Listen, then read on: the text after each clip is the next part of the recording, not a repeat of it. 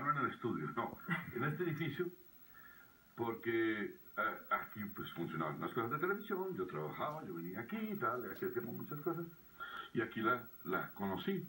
Claro, pero se encontraron Claro, los dos. Ella cuando, un cuando ya difícil y usted regresé, también. cuando ya regresé, eh, yo solo, en la ruina, yo sacaba de mis bolsillos, yo no tenía nada, nada, nada, nada, nada, no tenía.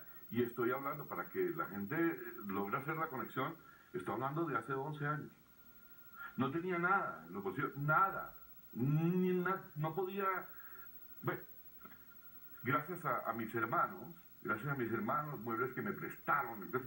pero entonces le pedí a esta niña que me encontré, le dije, mira, ¿tú por qué no me ayudas a buscar un apartamentico chiquitico que no valga nada, que es económico, eso, eso que llaman un aparte estudio, eso que queda uno como cuando uno se asusta, que queda de una pieza. Sí. Bueno, pues igual, un, un apartamento, una cosa pequeñita, y, y me ayudó en esa misión, fuimos amigos, y de repente íbamos a almorzar, pagaba ella, yo no tenía con qué, yo no tenía con qué.